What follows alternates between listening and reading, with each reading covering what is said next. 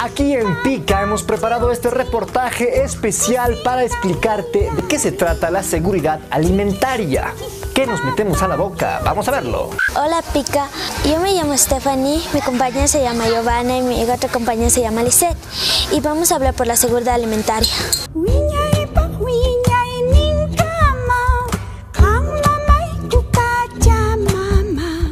La comida nos hace fuertes para que seamos unas personas grandes y nuestras células estén bien. Es importante comer frutas por, porque nos hacen fuertes a nuestros huesos y a nosotros también.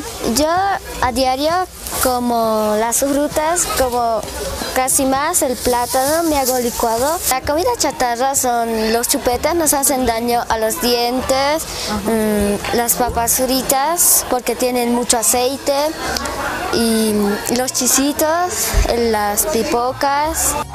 Hoy en nuestros municipios dependemos de la importación de alimentos. También se dice que los problemas de sobrepeso y la obesidad en niños aumentó un 28%. Y para rematar, cada vez hay menos alimentos frescos, nutritivos y económicos. ¿Qué es lo que nos está pasando?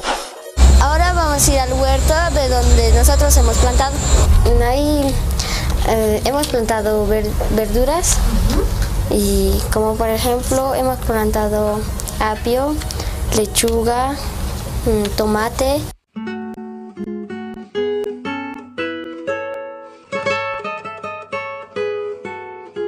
Por ejemplo, yo he cosechado y he plantado las nuevas semillas.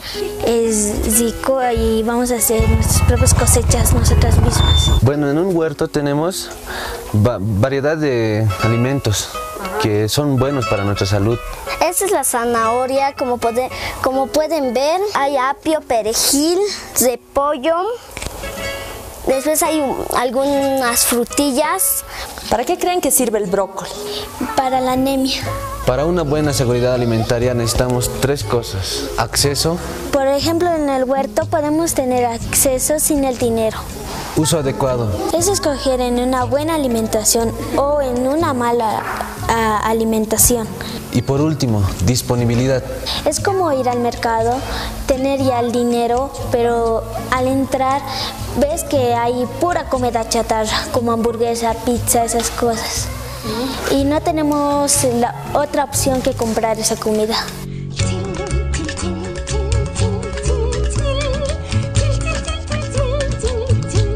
Aparte de cosechar, aquí los niños también comemos lo que cosechamos. Eh, vamos a saber de dónde viene.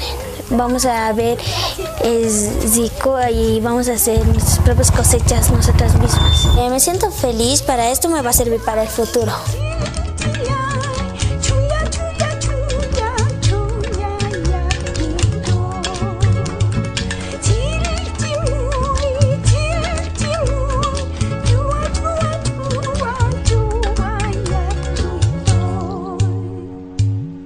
Gracias de verdad a todos los chicos y chicas que han participado de la nota. Es muy importante saber de dónde viene la comida que nos metemos a la boca. Consciente, consciente, dime qué comes y te diré quién eres.